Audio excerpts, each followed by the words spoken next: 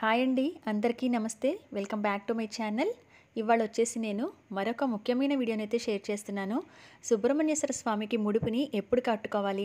ఎలా కట్టుకోవాలి? ఏ విధంగా కట్టాలి? అలాగే ఈ ముడుపు ఇంట్లో ఉన్నప్పుడు ఎటువంటి నియమాలు పాటించాలి? మరి ముడుపుని ఆ కోరిక తీరిన తర్వాత ఏం చేయాలి? స్వామివారికి ఏ విధంగా సమర్పించాలి? ఇవన్నీ కూడా నేను పూర్తి వివరాలతో ఈ వీడియోలో షేర్ చేస్తున్నాను. ఎక్కడ స్కిప్ చేయకుండా చూడటానికైతే ట్రై చేయండి.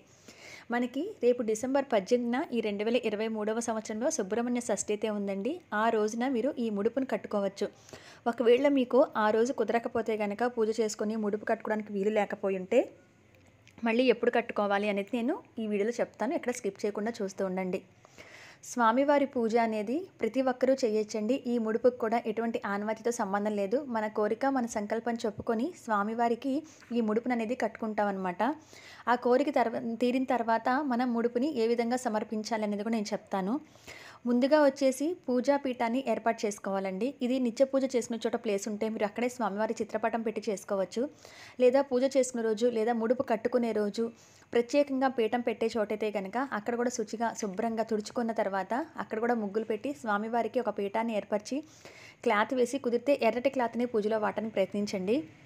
నేను అడుగున చిన్నటి ఎర్ర క్లాత్ వేసాను చూసారు కదా అలాగా? క్లాత్ వేసి స్వామివారి చిత్రపటాన్ని పెట్టుకోండి. పెట్టుకున్న తర్వాత ఇక్కడ నా దగ్గర చిన్న విగ్రహం అయితే ఉందండి. ఒకవేళ ఆ విగ్రహం లేకపోయినా పర్లేదు మీరు స్వామివారి చిత్రపటమే పెట్టుకోండి.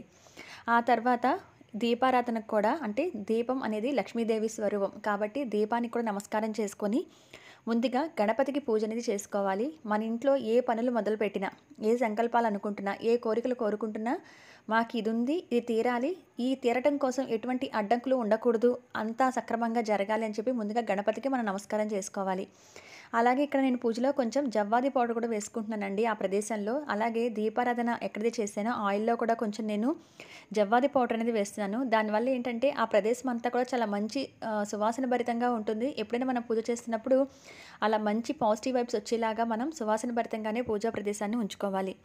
ఆ తర్వాత గణపతికి నమస్కారం చేసి స్వామివారికి మీ కోరిక మీ సంకల్పం ముందుగా మనం కోరుకునే కోరిక అవ్వచ్చు లేదా మనం మొదలుపెట్టే పనులు అవ్వచ్చు ఉద్యోగాలు అవ్వచ్చు ఏ విషయంలో కూడా అడ్డంకులు రాకూడదు అని చెప్పి స్వామివారికి విన్నవించుకున్న తర్వాత పూజ అన్ని ఉపచారాలతో వినాయకుడికి కూడా చేసుకోవాలి.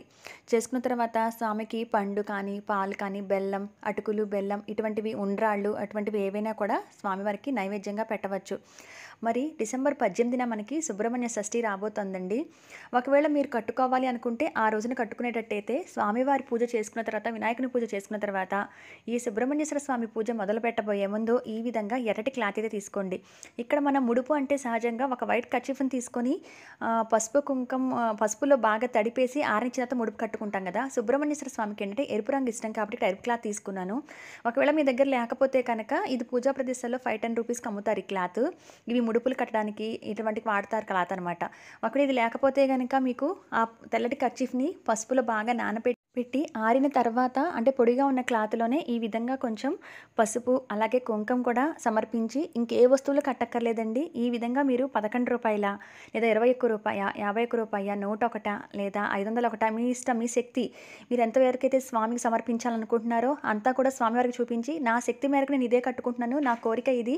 అంటే ఇప్పుడు సంతానం లేదనుకోండి సంతానం కలిగితే గనక మళ్ళీ నేను ఈ విధంగా పూజ చేసుకుంటాను మొక్కొని ఈ ముడుపు నీకు సమర్పిస్తాను అని మొక్కోవాలి. అలాగే ఉద్యోగం గురించి అవ్వచ్చు. వివాహం అయితే కనుక మంచి సంబంధం వచ్చి వివాహం అయితే కనుక మళ్ళీ ఈ ముడుపు నీకు సమర్పిస్తాను స్వామి నమస్కారం చేసుకొని ఇక్కడ కొంచెం పచ్చకర్పూరం కూడా వేయాలి. ఈ పచ్చకర్పూరం కూడా ఇక్కడ ఎందుకు వేసి అనేది చెప్తాను చూస్తూ ఉండండి. కొంచెం పచ్చకర్పూరం కూడా వేసేసి ఆ ముడుపుని కట్టేయండి. స్వామివారికి కూడా ఆ డబ్బులు చూపించి నమస్కారం చేసుకోవాలి మనస్ఫూర్తిగా. నా శక్తి ఇంతే నేను ఇంతే చేసుకోగలను నేను ఇంతే సమర్పించగలను నా కోరిక తీరాలి. పిల్లల కోసం చేస్తారు. కుజదోషాలు పోవడానికి చేస్తారు. సర్పదోషాలు నాగదోషాలు ఉంటే పోవడానికి చేస్తారు. అలాగే వివాహ సమస్యలు అంటే ఏదైనా ప్రయత్నాల్లో ఉన్నా కూడా ఏదో రకంగా ఆటంకాలు వస్తూ ఉంటాయి వివాహానికి.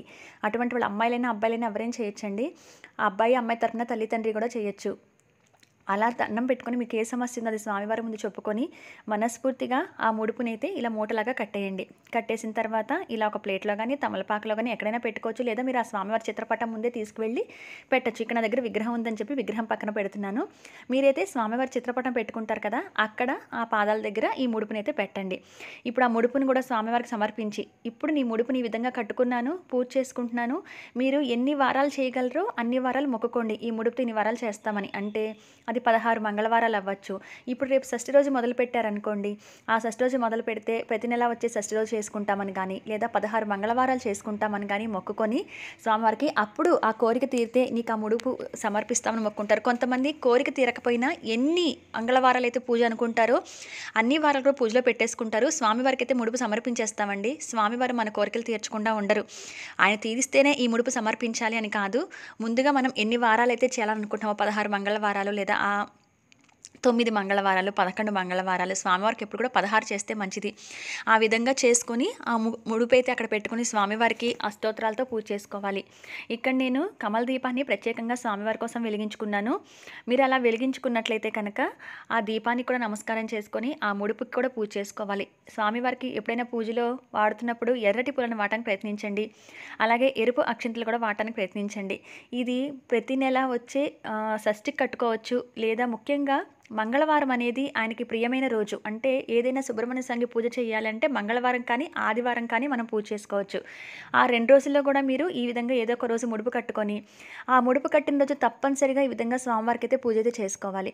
పూజ చేసుకొని స్వామివారికి అష్టోత్తరాలు అన్ని ఉపచారాలతో పూజ చేసుకొని అక్షింతలు ఏవైతే అష్టోత్తరాలు చదువుకుని ఏదైతే పూజ చేసుకుని అక్షింతలు వేస్తారో ఆ అక్షింతలు పూజ అయిన తర్వాత రెండు తల మీద అయితే వేసుకోండి పూజ చేసిన వాళ్ళు. అయితే ఈ ముడుపు ఇంట్లో ఉన్నప్పుడు పాటించవలసిన నియమాలు ఏంటంటే ఈ ముడుపు ఇంట్లో ఉన్నప్పుడు అంటే మన స్వామివారికి చెల్లించేంత వరకు కూడా ముఖ్యంగా పూజ చేసుకున్న రోజు అయితే నాన్ వెజ్ అస్సలు తినకూడదండి. అది ఆదివారం అవ్వచ్చు మంగళవారం అవ్వచ్చు. నాన్ వెజ్ అనేది అస్సలు తినకూడదు. అలాగే ఈ ముడుపుని ఎక్కడ పడితే అక్కడ పెట్టేయకూడదు. బయటకు వెళ్ళొచ్చిన బట్టలతో పట్టుకోకూడదు. అంటే మనం బయటకు తిరిగి వచ్చి ఆ దేవుని మందిరానికి వచ్చి అది తీసి పట్టుకొని ఎక్కడన్నా పెట్టడం కానీ అటువంటివి అస్సలు చేయకూడదు. మరి ముడుపుని ప్రతిరోజు అక్కడే ఉంచేయాలా అంటే మీకు దేవుని పూజా మందిరం ప్రత్యేకంగా ఉం ఉంటుంది. మేము పూజ చేసేటప్పుడు తప్పితే విడిగా అటువైపు బయటకు వెళ్ళొచ్చు కానీ ఏదైనా పీరియడ్స్ ఉన్నప్పుడు కానీ ఆడవారికి అటువైపు వెళ్ళము అనుకుంటే ఆ పూజా మందిరంలో ప్లేస్ ఉంటే కనుక ఈ ముడుపుని అక్కడే పెట్టేసి ప్రతిరోజు కూడా పూజ చేసుకోవచ్చు. కానీ ఒకవేళ ఇప్పుడు రెంటెడ్ హౌసెస్లో ఏంటంటే వంటగదిలోనే మనకి ఈ పూజా రూమ్ అనేది ఉంటూ ఉంటుంది.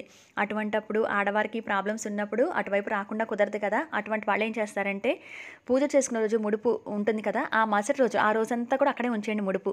మరుసటి రోజు కూడా మళ్ళీ దీపారాధన చేసి స్వామివారిని కదిలిస్తారు చూసారా? అప్పుడు ఆ ముడుపుని తీసేయండి. అంటే విప్ప తీయద్దు ఆ ముడుపుని ఆ ప్లేస్ నుంచి తీసేసి బీరువాలో పెట్టుకోండి. అంటే అది సహజంగా మనం పీరియడ్స్ ఉన్నప్పుడు కానీ ఆడవారం ముట్టుకోం కాబట్టి పీరి మనం పీరియడ్లో ఉన్నప్పుడు బీరువాల దగ్గరికి వెళ్ళం కదండి. అందుకని చెప్పి ఆ ముడుపుని తీసుకెళ్ళి లాకర్లో పెట్టేసేయండి. మళ్ళీ మీరు ఎన్ని మంగళవారాలు లేకపోతే ఇలా అనుకొని ఇన్ని ఆదివారాలను చే అనుకొని చేసుకుంటారు కదా అప్పుడు మళ్ళీ ఆ రోజు మళ్ళీ పూజలో తీసుకొచ్చి మళ్ళీ పెట్టి పూజ చేసుకోండి. మళ్ళీ ఆ మరుసటి రోజు తీసేసి మళ్ళీ బీరువాలో పెట్టుకోండి. ఇలా మీరు ఎన్ని వారాలు అయితే పూజ అనుకుంటారో అన్ని వారాలు కూడా అలా చేసుకోండి. మీకు ఒకవేళ ప్లేస్ ఉంది మేము ముట్టుకోమనుకుంటే పూజా మందిరంలో ఉంచేయచ్చు. అంటే పూజ చేసిన రోజే నాన్ వెజ్ అంటే పూజా మందిరంలో ఉంది కదా అని ప్రతిరోజు నాన్ వెజ్ తినే వాళ్ళకి ఇబ్బంది ఏం లేదండి. ఆ పూజ చేసిన రోజు నాన్ వెజ్ తినకుండా ఉంటే చాలు. ఈ విధంగా ముడుపునైతే అలా మార్చుకుంటూ అంటే బీర్వాలో పెట్టుకొని పూజ చేసే పూజ చేసే రోజు దేవుడి దగ్గర పెట్టుకొని చేయని రోజు బీర్వాలో పెట్టేసుకోవచ్చు. ఎందుకంటే మధ్యలో కూడా ఆడవాళ్ళకు కూడా పీరియడ్స్ ఉన్నప్పుడు అటువైపు వెళ్ళడానికి ఇబ్బంది కాబట్టి ఆ పూజ చేసే రోజు తెచ్చుకుంటే సరిపోతుంది. ఈ విధంగా పెట్టుకోవచ్చు. అయితే స్వామివారికి తప్పనిసరిగా సమర్పించవలసిన నైవేద్యం కూడా ఆవు పాలు వడపప్పు పచ్చి చల్లిమిడి నువ్వులు చిమ్మిరి తప్పనిసరిగా ప్రతి వారం కూడా మీరు ఎన్ని వారాలు అనుకున్నారో అన్ని వారాలు పూజలు చేయాలి. ముందుగా ముడుపు కట్టేటప్పుడే స్వామివారికి మనసులో కోరిక చెప్పుకొని ముడుపుని కట్టుకొని ఆ స్వామివారికి ఆ ముడుపుని చూపించి ఆ పూజలో పెట్టుకొని పూజనే చేసుకోండి. అయితే ఈ ముడుపుని ఎప్పుడు సమర్పించాలి అంటే ఎన్ని వారాలు అయితే మీరు అనుకుంటారో అన్ని వారాలు చేస్తారు కదా ఆ చివరి వారం ఏదైతే ఉందో ఆ చివరి మంగళవారం కానీ చివరి ఆదివారం కానీ ఏదైతే ఉందో ఆ వారం మళ్ళీ స్వామివారికి ఇలానే పూజ చేసుకుంటారు కదా పూజ చేసిన రోజు ఆ రోజు ఉందం చేసి మరుసటి రోజు తీసేస్తారు. తీసేసినప్పుడు అప్పుడు మీరు ఎక్కడైనా సుబ్రహ్మణ్యేశ్వర స్వామి గుడి ఉంటే ఆ అక్కడ ఆ మొక్క అనేది చెల్లించేయండి. అంటే ఆ ముడుపు అనేది ఆ హుండీలో వేసేయండి. ఇది కొంతమంది కోరిక తీరలేదో వేయాలని అంటున్నారు. అలా అని కాదండి మన కోరిక తీరితేనే మన స్వామివారికి సమర్పిస్తాను మనం ఎప్పుడు అనుకోకూడదు. మనం మనం సంకల్పం చెప్పుకున్నాము పూజ చేసుకున్నాము స్వామివారి మీదే భారం మోపాము. తప్పకుండా నెరవేరుతుందని నమ్మి ఈ పూజని చేసుకోవాలి ఈ ముడుపు అనేది కట్టుకోవాలి. కట్టుకొని స్వామివారికి సమర్పించేయండి. మన జీవితానికి మనకి ఏది మంచి జరగాలని రాసి ఉంటుందో అది తప్పకుండా స్వామివారు చేసి పెడతారు. ఇదే నమ్మి ఇదే మనసులో పెట్టుకొని ఈ ముడుపు అనేది కట్టి స్వామివారికి పూజ అనేది చేసుకోండి. ఇలా అన్ని మంగళవారాలు చేసుకోవచ్చు. కొంతమంది ఏంటంటే ఆఫీసులకు వెళ్ళే వాళ్ళు కానీ ఏదైనా పనుల మీద వెళ్ళే వాళ్ళకి మంగళవారం కుదరదు కాబట్టి మనం ఎప్పుడైనా సుబ్రహ్మణ్య స్వామికి నాగేంద్ర స్వామికి పూజ చేసేటప్పుడు మంగళవారం కానీ ఆదివారం కానీ విశేషంగా చేసుకోవచ్చు. కాబట్టి కుదిరితే మంగళవారాలు కట్టండి లేదా ఆదివారాలు కట్టుకోండి. ఇలా చేసుకోండి. మీరు పదహారు మంగళవారాలు చేస్తే చాలా మంచిదండి. మీది తీరినా తీరకపోయినా స్వామికి అయితే సమర్పించండి. తప్పకుండా మీరు అనుకున్నది నెరవేరి తీరుతుంది ఇది నేను కట్టుకున్నదే మీకు చేసి చూపించాను. మీ నాలాగా మీ అందరికీ కూడా ఉపయోగపడాలి అని చెప్పి ఈ వీడియోని అయితే షేర్ చేస్తున్నానండి. ముడుపును కూడా మనస్ఫూర్తిగా నమస్కారం చేసుకుని మన సంకల్పం నెరవేరాలని కోరుకోవాలి. ఏదైతే ప్రసాదంగా స్వామివారికి నైవేద్యంగా నివేదన చేశారో అది ప్రసాదంగా తప్పనిసరి తప్పనిసరిగా ఇంట్లో మీరు పూజ చేసుకున్న వాళ్ళు మీ కుటుంబ సభ్యులు తీసుకోవచ్చు. సంతానం కోసం చూస్తున్న వాళ్ళైతే కనుక భార్యాభర్తలు ఇద్దరు కలిపి పూజ చేసుకొని చక్కగా ఆ ఏదైతే ముడుపు ఆ ముందు క్లాత్ని పరిచారో ఒకళ్ళు పసుపు వేస్తే వాళ్ళ కుంకుమ డబ్బులు కూడా ఇద్దరు రెండు దోశలలో ఇద్దరు చేతులు పట్టుకొని ఆ స్వామివారికి నమస్కారం చేసుకొని భార్యాభర్తలు ఇద్దరు కలిసి ఆ ముడుపులో పెట్టండి. సంతానం కోసం చూస్తున్న వారైతే కనుక అలాగే ఏదైనా ఉద్యోగం కోసం ఎవరైనా అబ్బాయిలు ట్రై చేస్తున్నారనుకోండి అమ్మాయిలు ట్రై చేస్తున్నారనుకోండి వాళ్ళు ఆ పూజ చేసుకుని ముడుపుని కట్టుకోండి.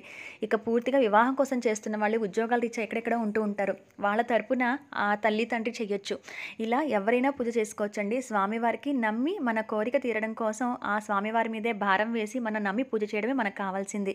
కాబట్టి ఈ విధంగా అయితే స్వామివారికి ముడుపు అయితే కట్టుకోవాలి. ఈ ముడుపు ఉన్న రోజు మాత్రమే నాన్ వెజ్ తినకుండా ఉంటే సరిపోతుందంటే పూజ చేసుకున్న రోజు. తర్వాత మళ్ళీ మీరు బీరవాలో పెట్టేసినా నిత్య పూజా మందిరంలో పెట్టేసినా కూడా అలాంటిది ఏం పట్టింపు లేదు. పూజ చేసిన రోజు తినకుండా ఉంటే చాలు. అయితే పచ్చకర్పూరాన్ని ఎందుకు వేస్తారో చెప్తా అన్నాను కదండి. ఇక్కడ ఒక చేయాల్సింది ఏంటంటే పచ్చకర్పూరం దేవతా సంబంధ సంబంధించింది. అంటే పూజల్లో వాడే ముఖ్యమైన పదార్థం అనమాట అది కంపల్సరిగా ముడుపులో కూడా కొంచెం వేయాలి. అందులో పచ్చకర్పూరం కొంచెం పాలల్లో కలిపి అది స్వామివారికి అభిషేకం చేసినా కూడా అవి చాలా మంచిదట. ఆ పాలని అభిషేకం చేసిన పాలని ఈ సంతానం కోసం చూస్తున్న వాళ్ళు ఎవరైతే ఉన్నారో వాళ్ళు స్వీకరిస్తే గర్భధారణకు సంబంధించిన సమస్యలు పో తొలగిపోయి వాళ్ళకి సంతానం కలుగుతుందిట. ఒకవేళ మీరు అభిషేకాలు చేసుకోవడానికి విగ్రహాలు ఇవ్వనుకోండి స్వామివారి పటం దగ్గర మీరు ఆవు పాలని పెడతారు కదా నైవేద్యంగా పెడతారు కదా ఆ నైవేద్యం పెట్టిన పాలలో కూడా కొంచెం పచ్చకర్పూరం వేసేసి స్వామివారికి నివేదన చేసిన తర్వాత ఆ పాలని మీరు ప్రసాదంగా తీసుకోండి. అలా కూడా చాలా మంచిది. ఆ పాలు ఎవరైనా తాగొచ్చండి. భార్యాభర్తలు ఎవరైతే ఇద్దరు కలిసి పూజ చేసుకుంటారో వాళ్ళు తప్పనిసరిగా తీసుకోండి. ఇది ఆరోగ్య సంబంధమైన విషయాలను కూడా మనకి ఎటువంటి హాని లేకుండా అవన్నీ తొలగిపోయి సంతానం కలుగుతుందని ఒక నమ్మకం. అయితే పూజ చేసిన రోజు కూడా రెండు పుట్ల దీపారాధన చేయండి. మరుసటి రోజు కూడా దీపారాధన చేసి పీఠాన్ని కదిలించిన తర్వాతే ముడుపు అక్కడి నుంచి తీయండి. అయితే విప్ప తీయద్దు. ఎక్కడ మీరు పెట్టాలనుకుంటున్నారో ముడుపుని జాగ్రత్తగా ఎవరు ముట్టుకునే ప్రదేశంలో పెట్టండి. ఇదండి సుబ్రహ్మణ్యేశ్వర స్వామి పూజ విధానంలో ముడుపు కట్టవలసింది. ఇది రేపు వచ్చే షష్ఠికి కట్టుకుంటే మరింత విశేషం కనుక మీకు అందరికీ ఉపయోగపడుతుందని ఇన్ఫర్మేషన్ షేర్ చేస్తున్నాను. నచ్చిన వాళ్ళు ఒక లైక్ ఇవ్వడం అస్సలు మర్చిపోవద్దు. మరొక మంచి ఇన్ఫర్మేటివ్ వీడియోతో మళ్ళీ కలుస్తాను.